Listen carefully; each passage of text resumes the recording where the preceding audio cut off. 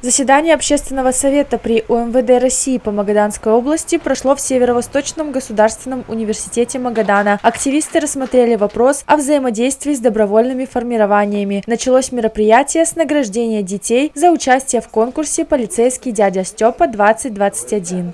У нас сегодня довольно обширная повестка. А, ну и а, прежде чем мы приступим непосредственно к рабочим вопросам нашего совета, разрешите э, перейти к вопросу, связанному с поощрением участников регионального этапа творческого конкурса «Полицейский дядя Степа-2021», приурочено к празднованию Дня защиты детей.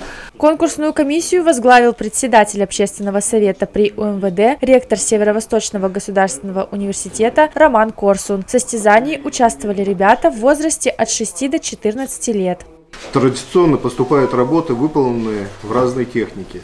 Каждый год дети придумывают что-то новое, добавляя в это мероприятие свой неповторимый колорит. В этом году на суд жюри было представлено 32 работы.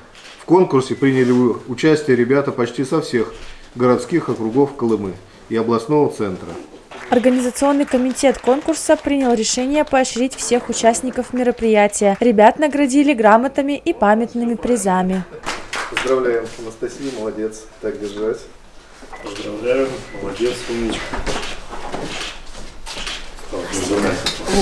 На общественном совете рассмотрели профилактическо-воспитательную работу на противодействие коррупции в подразделениях органов внутренних дел. Основная ее цель – формирование у сотрудников нетерпимости к коррупционным проявлениям.